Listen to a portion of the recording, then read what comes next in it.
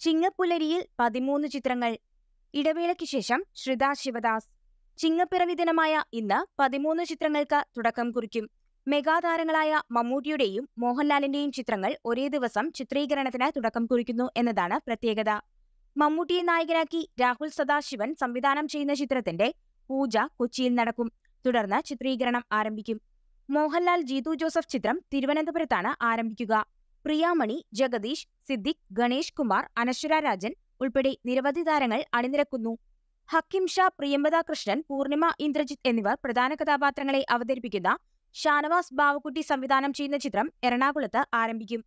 സുധീഷും പുതുമുഖമായ ജിനീഷും നായകന്മാരാകുന്ന mind power മണിക്കുട്ടനും എറണാകുളത്ത് ചിത്രീകരണം ആരംഭിക്കും.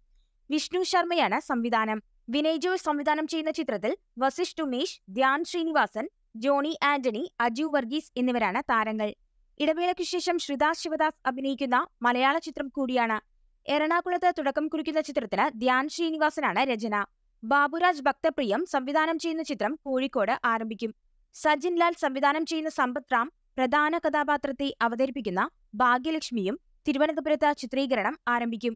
ഷാൻ നവാസ് സംവിധാനം ചെയ്യുന്ന റെയ്ന നടൻ ജയൻ ചേർത്തല സംവിധായകനാവുന്ന ചിത്രം എന്നിവയാണ് ഇന്ന് തുടക്കം കുറിക്കുന്ന മറ്റു ചിത്രങ്ങൾ. നവാഗത സംവിധായകർ ഒരുക്കുന്ന നാല് ചിത്രങ്ങളും ആരംഭിക്കും.